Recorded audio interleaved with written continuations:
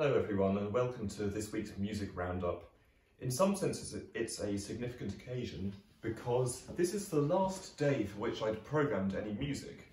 Um, I've designed the music on a monthly basis and of course I haven't had to do that for this coming May because we're still in lockdown. So it looked as if for the end of April, having had a busy Holy Week, we were going to have a slightly more relaxed day of music on this particular occasion, this coming Sunday. Um, so the music I'm going to talk about is actually quite simple, but it does lead us on also to um, some further listening.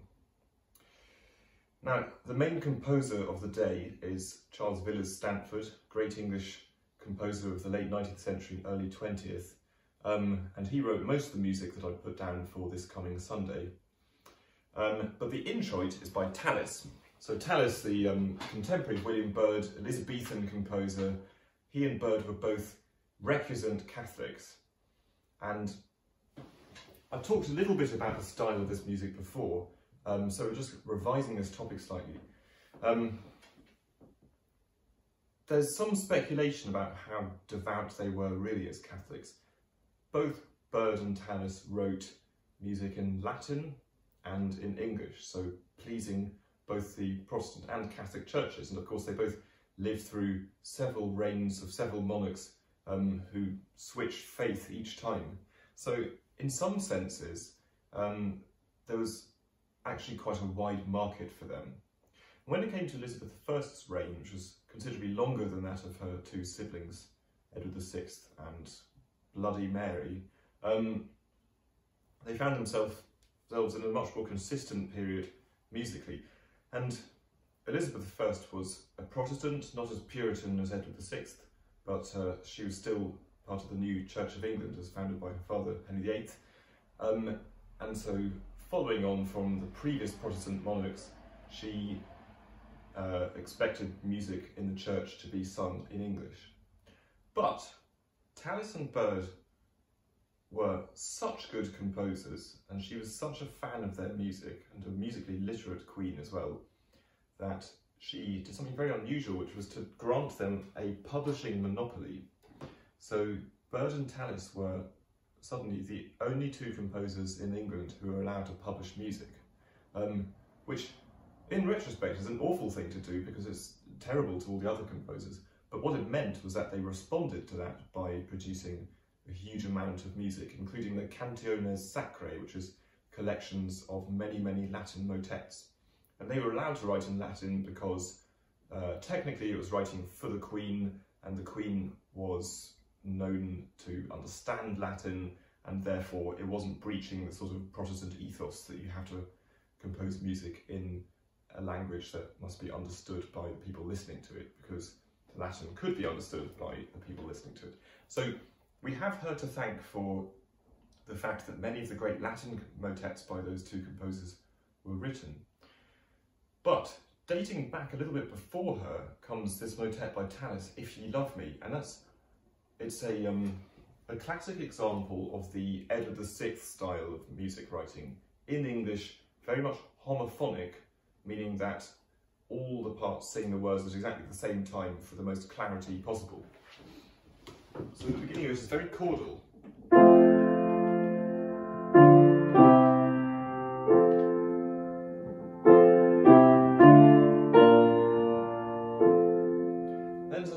A small amount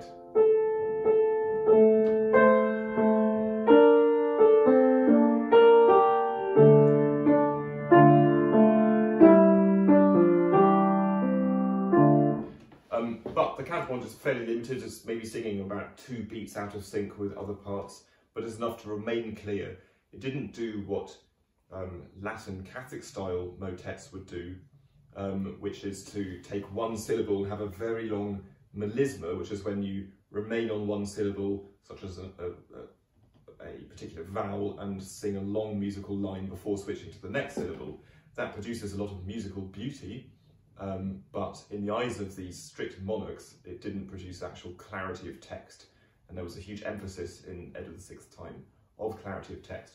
So listen out to the types of texture in If Ye Love Me by Tallis, the way that the chords make the text as clear as possible, and the way that the counterpoint is quite restrained so as not to retract from, uh, sorry, detract from the clarity of the text when the parts aren't quite singing the words at the same time. So pause at this point and listen to the Tallis and then we'll come back to talk more about Stanford.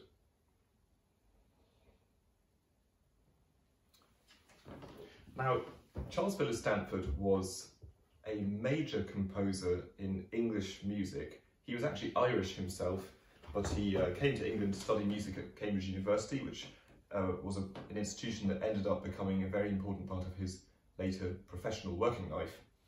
Um, and at that point, music in this country was going through a bit of a dead period. So actually from around the late 18th century into the, the whole of the first half of the 19th century, um, it was in a pretty woeful state and it was some of the Wesley family, Samuel Sebastian Wesley, his father, their relations to Charles Wesley, but quite a few generations later, they started to make a few moves to get church music and general music in this country working again um, when it's really waned. Um, and for example, the Samuel Sebastian Wesley anthem, Blessed be the God and Father, which is now quite a well-known piece in church music, um, there are some dire stories about how it was premiered at Worcester Cathedral by a row of a very small number of boys singing the top part and the bishop's butler singing bass parts and no other singers at all. Um, so it's pretty sad to think of a staple piece like that having such a an undeserved, uh, undeservedly bad premiere. Um, one of the main things that Stanford brought in was influence from the continent, and he is one of two major English, or well, he wasn't English, was he? He was one of two major organists in this country who went to study in Leipzig in Germany, the other one being me. Um, and he went to Leipzig because the education offered at the Royal Academy of Music in London, which at that point was the only conservatoire operating, um, was considered very old-fashioned, rather um, rather dry and uninspiring. So he went to Leipzig seeking a bit of continental verve, and the conservatoire there was founded, I believe, in the 1840s by Mendelssohn to train uh, musicians for the Leipzig Gewandhaus Orchestra, which remains one of the top orchestras in Germany and the world. And um, Stanford went there expecting it to be a progressive place that would be a much better education for him uh, as a composer and musician than he would have got in London.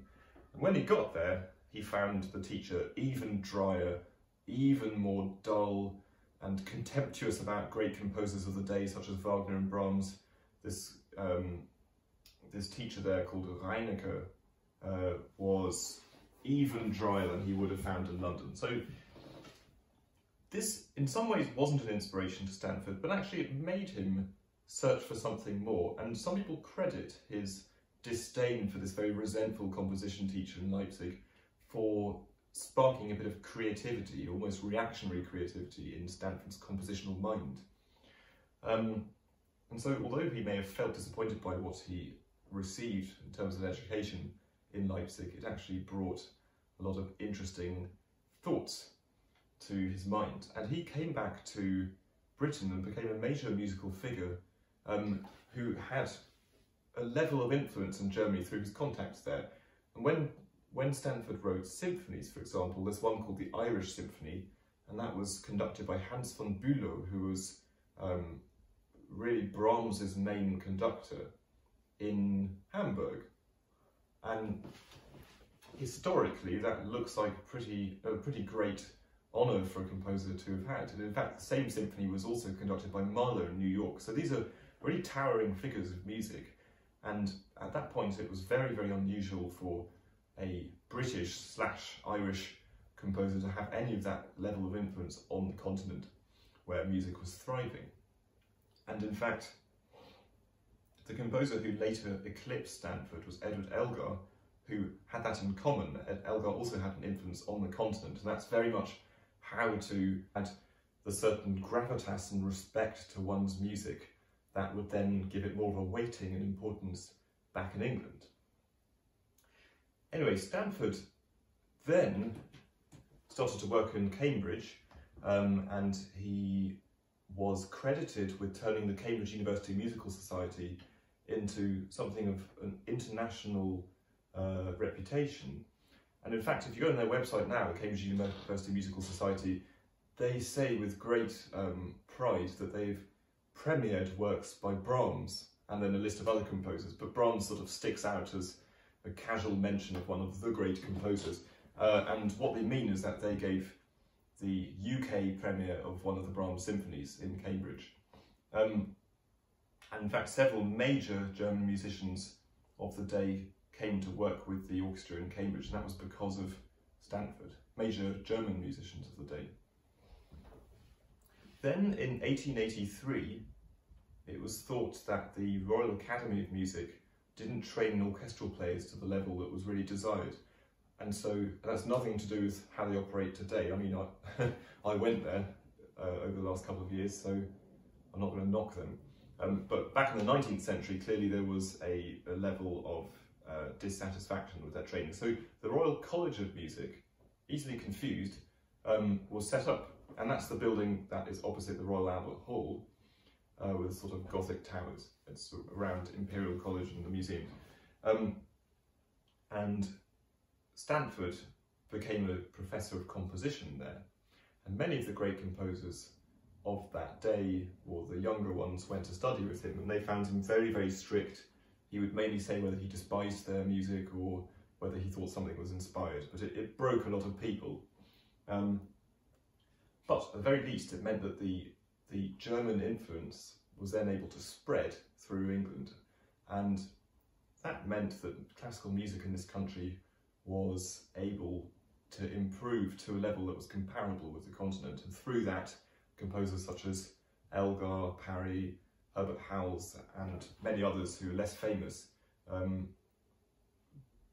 their music uh, had a, a, kind of platform was, and was able to exist. So, although eventually Stanford's music largely went out of fashion, he was very much responsible for um, for huge amounts of musical change and cultural change in this country, and perhaps doesn't always get the uh, thanks that he deserves for it.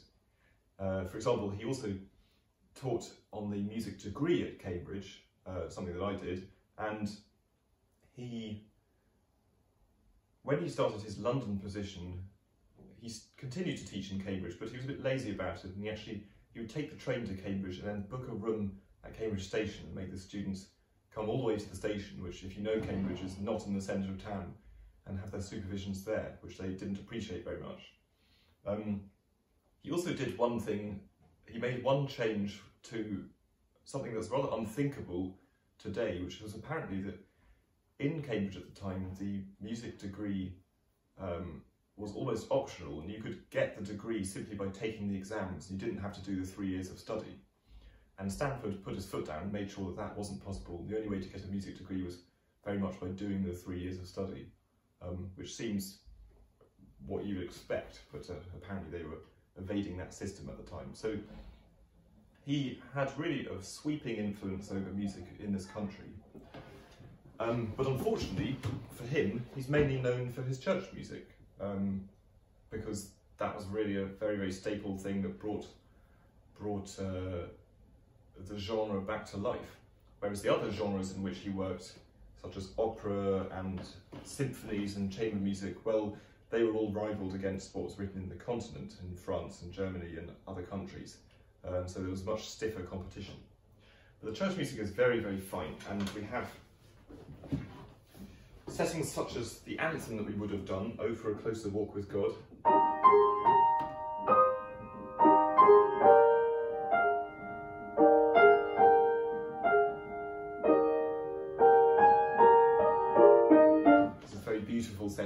very, simple and uh, sweet to the ear, worth a listen.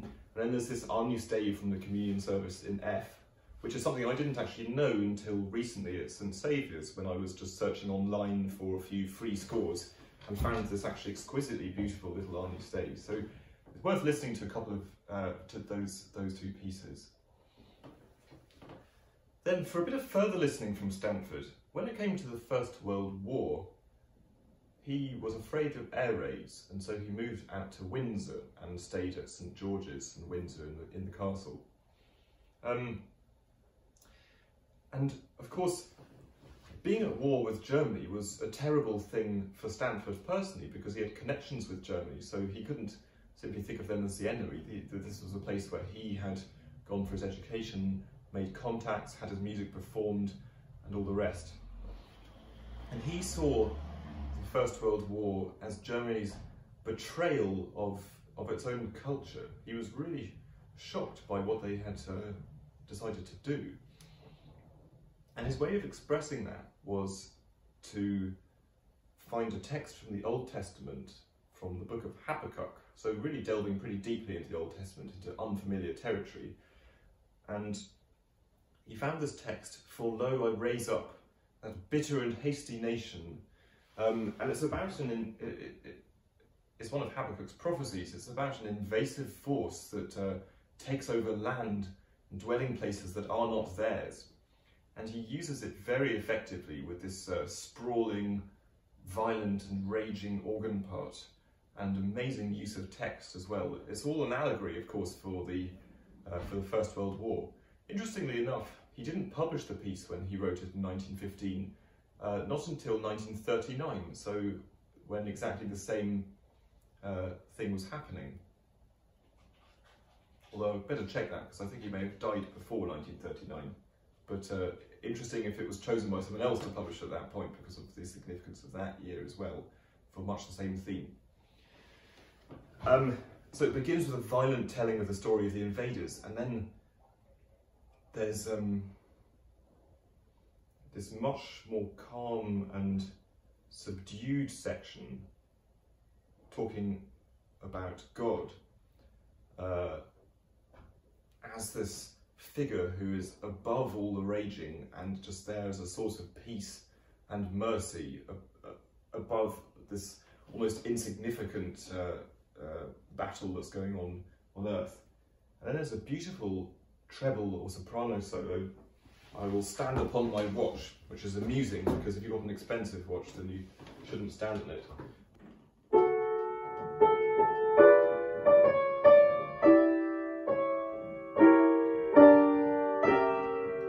So this moment,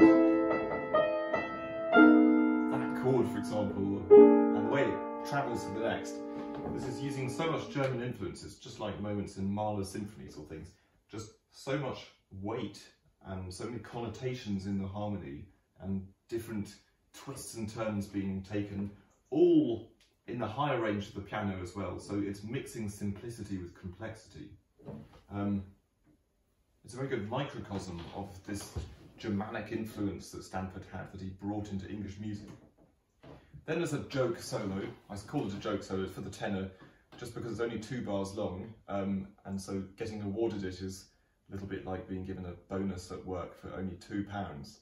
Um, and then that's followed by a final chorus in which there's a very different character to the writing and the choir sing for a message of peace. So this is the end of Stanford's message, converting this warmongery, if that's a word, into a new era of peace.